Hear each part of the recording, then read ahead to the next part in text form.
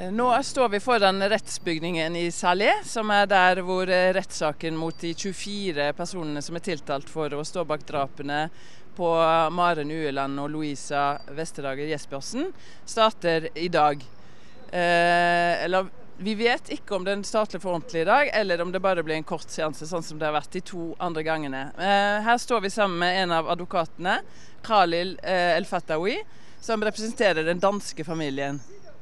Uh, what will happen today, Stafatawi? Yes, today it's uh, it's a very important day because uh, the state will, and the government will be there with their lawyer and uh, we will discuss about the, the, responsibility of the of the state of, the, of about this case.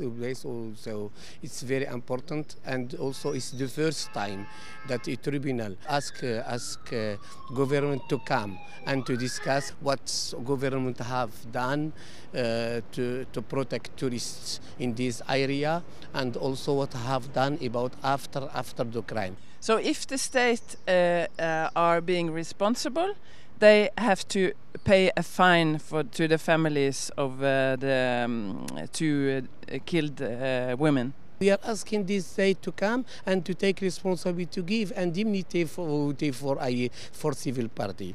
Today is very important day because we will begin for the beginning for six person included four person who killed. Mm. So it's very important this this this case yeah. today.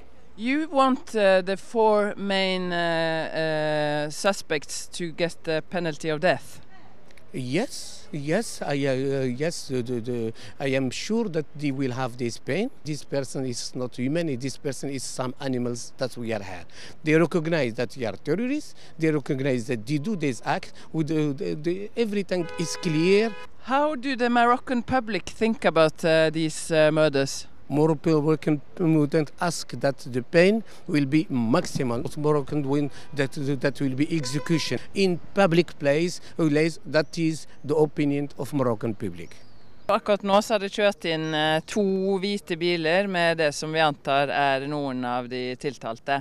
Og et par av de kommer rett bak herfra, som er fengselet i Salé, i byen vi er her nå.